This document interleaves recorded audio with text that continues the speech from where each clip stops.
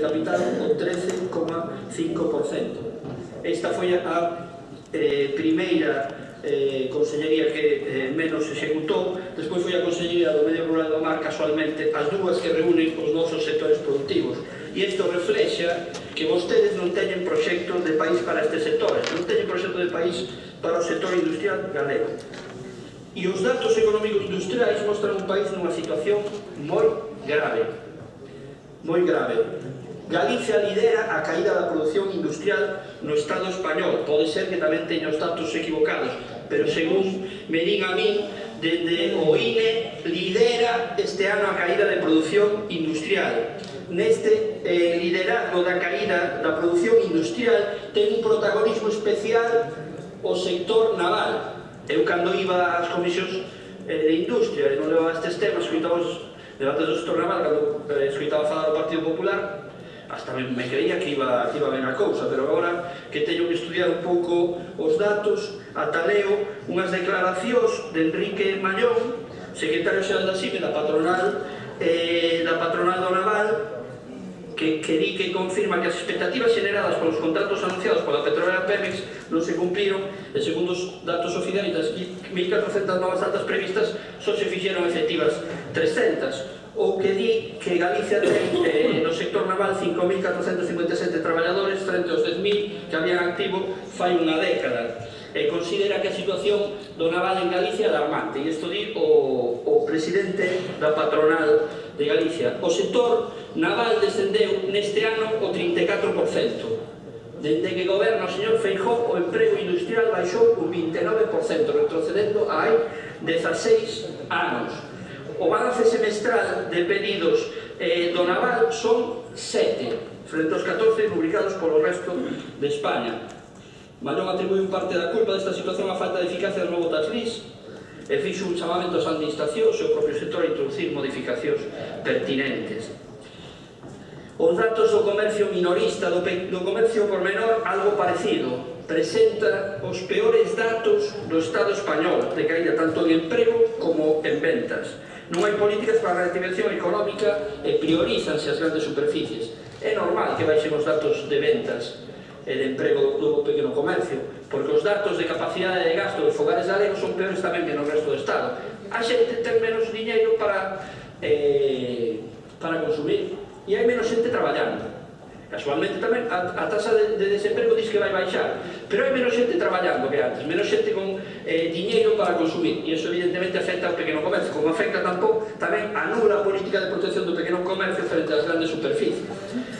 Vostedes poden, eh, podemos falar de que Citroën eh, hai un mercado globalizado que hai que ser competitivo, o que queiran, o que, o que non teñen excusas é para eh, facer o que fan co sector enerxético galego porque os nosos ríos só hai en Galicia, o vento que hai só hai en Galicia, e hai un potencial enorme para desenvolver un sector enerxético alternativo de enerxías renovables e limpas, e vostedes teñen un sector paralizado. Vostedes están asistindo a que morre un bello sistema e vostedes non teñen outro preparado para o futuro. É así, vostedes están facendo de tapón para que non se desenvolva un sistema enerxético alternativo neste país. Para o cal temos moita, grande potencial, ademais de creación de economía local, como teño dito moitas veces. E vostedes non legislan, non aproban ninguna normativa para que se poida desenvolver o modelo descentralizado, democratizado, a, eh, acercando a produción, o consumo, etc. etc. Vostedes teñen paralizado nun concurso eólico que xa está morto. O único que legislan vostedes é para que este eh, concurso morto non lle coste moito ás grandes empresas e para devolverlle os avales a estas empresas para que se vayan a invertir no estranxeiro, como está pasando con Gamesa, que se vai a investir en China, en Brasil, na India, etc. etc. Pero eso sí, cos, abais daqui e co eh, ensayo que as tecnologías gastado por dinheiro público fai moitos anos cando Endesa investigaba con dinheiro público nas novas tecnologías como tamén investigou ca tecnología do mar é dicir, vostedes con isto sí que están cometendo un grave crime con paralizar un sector que podría estar aportando competitividade á economía galega, aportando emprego, aportando empresas de tecnoloxía galega. E depois chegamos a Alcoa, evidentemente, a Alcoa. Si Alcoa deixa dun día para outro na rúa a 400 empregos directos, terá o Partido Popular moita responsabilidade O Partido Popular foi a responsable da privatización de Inespal, que foi adquirida por Alcoa no 1998, en condicións moi ventaxosas para multinacionais, sobre todo cos custos de electricidade, cunha tarifa moi beneficiosa ata 2013, pagada por todos e todas nós, liberalización do mercado eh, eléctrico, como decía, froito da decisión do goberno do Partido Popular. Prezo de ganga da electricidade que paga por Alcoa que rematou sen que o goberno da Xunta fixera nada por ter competencias propias e poder exixir unhas condicións a estas empresas. Vostedes nos puxeron o noso futuro en máis dunha empresa e a Xunta de Galicia hoxentía non ten ninguna ferramenta para solucionar Alcoa.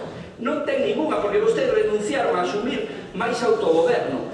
Alcoa ten decidido pechar na Coruña porque xa ten montada unha fábrica en Arabia Saudí a maior fábrica de aluminio do mundo. E só vai a seguir se os ministros Soria lle dá o precio que eles queren. E iso eh, para a Coruña vai ser dramático. 400 empregos directos e outros tantos indirectos é dramático para unha cidade, pero vostedes non teñen ninguna arma para impedilo. Vostedes deixan eh, en más dunha multinacional o futuro dunha cidade e dun país e unha multinacional se comporta como unha multinacional non como unha ONG pero o erro é deixar deixar que as regras do xogo as marquen estas empresas.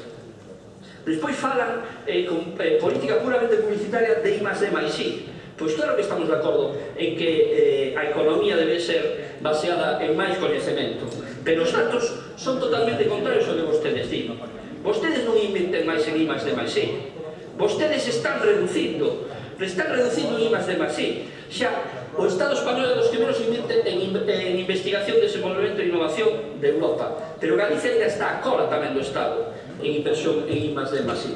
Por lo tanto, vostedes non teñen, non teñen proxecto de país para os sectores industriales.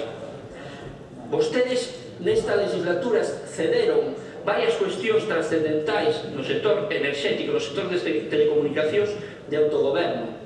Vostedes lles molesta o autogoberno. Canto menos teñan, mellor para vostedes. As nosas enmendas tratan de ir por reforzar o sector naval, medidas políticas industriais e económicas, por apostar polo sector das renovables, seguramente en eh, economía destas pequenas cousas, dos concellos, das pequenas empresas, das explotacións agropecuarias, pero esas son as que non se van co diñeiro ao estranxeiro, son as que invertir nelas sempre vai, vai repercutir no ben do país. En apoiar o IMAX de Masí, sobre todo o sector público do I+D+I e considerar o sector das renovables como un sector estratégico de futuro e completar os ciclos productivos neste, neste país.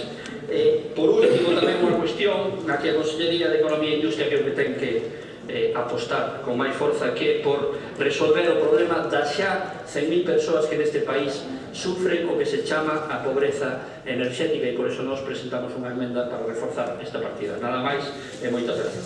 Gracias.